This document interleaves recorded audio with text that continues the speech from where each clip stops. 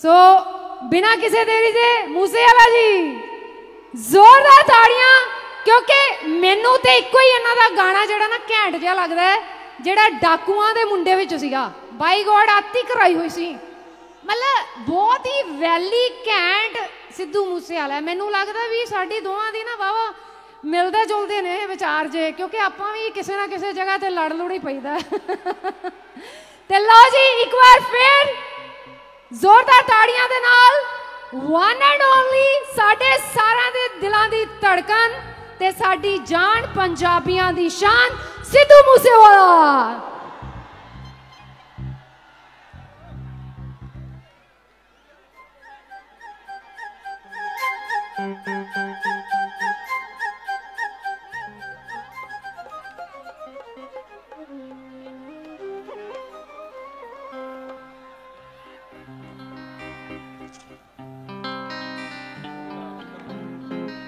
ਹਾਂਜੀ, ਕਰ ਦਈਏ ਹੈਂਡ ਫ੍ਰੀ ਸਿਸਟਮ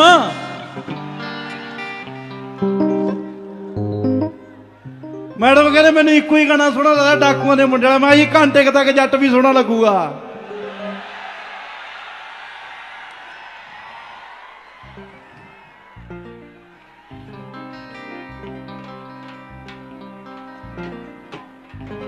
ਕਿਹੜਾ ਗਾਣਾ ਹੁਣ ਦਈਏ?